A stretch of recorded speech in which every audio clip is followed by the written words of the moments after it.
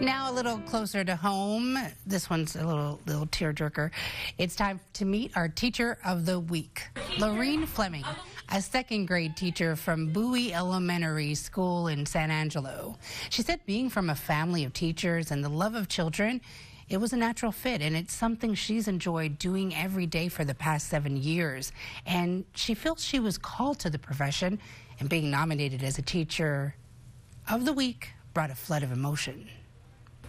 I'm emotional about it. Um, I truly love teaching. This is my passion. I've done it for um, seven years, going on eight, and so this is just, it makes my life have purpose. So, so blessed. Teacher of the Week is sponsored by Concho Educators Federal Credit Union. If there's a teacher that you think should be considered for our Teacher of the Week, fill out the form on ConchoValleyHomepage.com and let us know why that special educator deserves recognition.